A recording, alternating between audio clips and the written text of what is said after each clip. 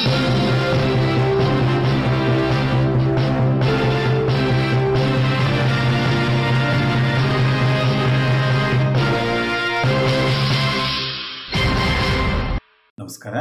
News ಕರ್ನಾಟಕಕ್ಕೆ ಸ್ವಾಗತ.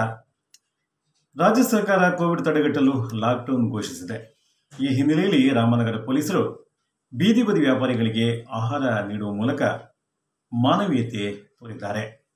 ಬೆಂಗಳೂರು ಗ್ರಾಮಾಂತರ ಜಿಲ್ಲೆಗೆ ಒಳಪಡುವ ಕಗ್ಗಲಿಪುರ ಪೊಲೀಸ್ ಠಾಣೆಯ ಸರ್ಕಲ್ ಇನ್ಸ್ಪೆಕ್ಟರ್ ರಾಮಪ್ಪ ಗುತ್ತೇದಾರ್ ಮತ್ತು ಸಿಬ್ಬಂದಿಗಳು ದಾನಿಗಳ ನೆರವಿನಿಂದ ಲಾಕ್ಡೌನ್ ಸಂದರ್ಭದಲ್ಲಿ ಸಾಕಷ್ಟು ಸಂಕಷ್ಟಕ್ಕೀಡಾಗಿರುವ ಬಡವರಿಗೆ ನೆರವಿನ ಹಸ್ತ ಚಾಚಿದ್ದಾರೆ.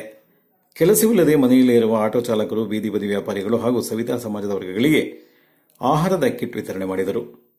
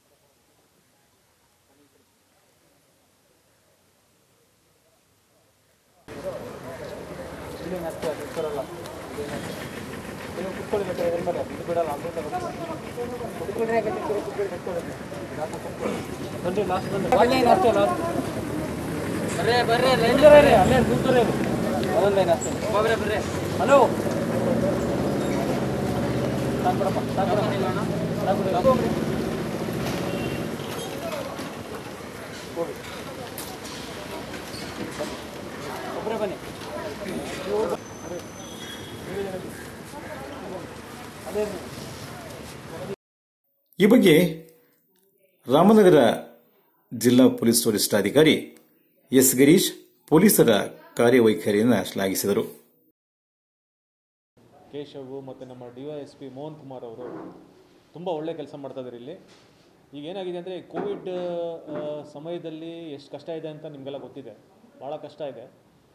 ಆಮೇಲೆ ಈ ಒಂದು ಸಂದರ್ಭದಲ್ಲಿ ನಮಗೆ ಅಪಾರ್ಟ್ ಫ್ರಮ್ ಇದು ಈ ಪಬ್ಲಿಕ್ನ ಕಂಟ್ರೋಲ್ ಮಾಡೋದಲ್ದೇ ಚೆಕ್ ಪೋಸ್ಟ್ಗಳಲ್ಲಿ ಚೆಕ್ ಗಾಡಿಗಳನ್ನ ಚೆಕ್ ಮಾಡೋದಲ್ದೇ ಸ್ವಲ್ಪ ಈ ಅವೇರ್ನೆಸ್ ಪ್ರೋಗ್ರಾಮು ಏನು ಈ ಕೋವಿಡ್ ನಿಟ್ಟಿನಲ್ಲಿ ಏನು ಮಾಸ್ಕ್ ಧರಿಸ್ಬೇಕು ಸ್ಯಾನಿಟೈಸರ್ ಯೂಸ್ ಮಾಡಬೇಕು, ಸಾಮಾಜಿಕ ಅಂತರ ಕಾಪಾಡ್ಕೋಬೇಕು ಅನ್ನೋದೇನು ನಾವು ಈ ಅವೇರ್ನೆಸ್ ಪ್ರೋಗ್ರಾಮ್ಗಳನ್ನ ಹಾಕ್ಕೊಂಡಿದ್ದೀವಿ ಅದರ ಜೊತೆಗೆ ಈ ಒಂದು, ಈ ಕಿಟ್ ಸಾಮಗ್ರಿಗಳು, ಈ ಆಹಾರ ಏನು ಬಡವರಿಗೆ ಸಾಕಷ್ಟು ನಾವು ಬಡವರಿದ್ದಾರೆ ಅಲ್ಲಿ. ನಮ್ಮ ಈ ಕಗ್ಲಿಪುರ ಆರೋಳಿ ಏರಿಯಾದಲ್ಲಿ ಸಾಕಷ್ಟು ಜನ ಬಡವರಿದ್ದಾರೆ ಭಿಕ್ಷುಕರುಗಳಿದ್ದಾರೆ.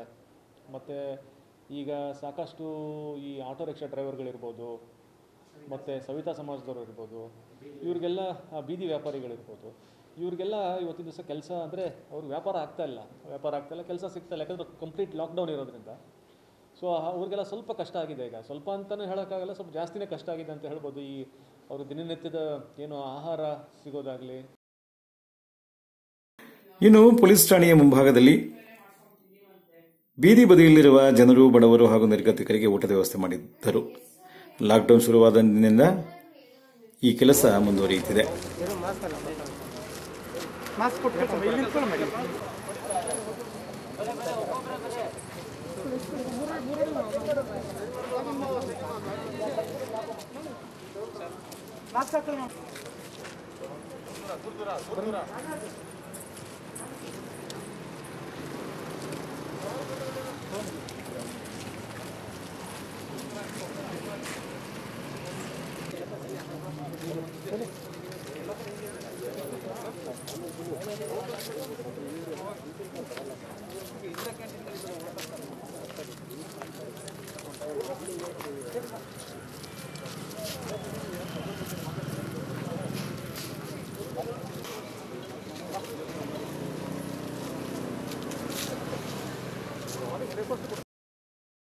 ಅಲ್ಲದೆ ರಾಮನಗರ ಎಸ್ಪಿ ಎಸ್ ಗಿರೀಶ್ ತಮ್ಮ ಸಿಬ್ಬಂದಿಗೆ ಆಹಾರದ ಕಿಟ್ ವಿತರಣೆ ಮಾಡಿದರು. ಒಟ್ಟಾರೆ ಎಷ್ಟೇ ಕಷ್ಟ ಇದ್ದರೂ ಪೊಲೀಸರು ಊಟದ ಜೊತೆಗೆ ಬಡವರಿಗೆ ಆಹಾರದ ಕಿಟ್ ವಿತರಣೆ ಮಾಡುವ ಮೂಲಕ ಮಾನವೀಯತೆ ಮೆರೆದಿದ್ದಾರೆ. ಪೊಲೀಸರ ಈ ಕಾರ್ಯವೈಖರಿಗೆ ಸಾರ್ವಜನಿಕರು ಅಪಾರ ಮೆಚ್ಚುಗೆ ವ್ಯಕ್ತಪಡಿಸಿದ್ದಾರೆ.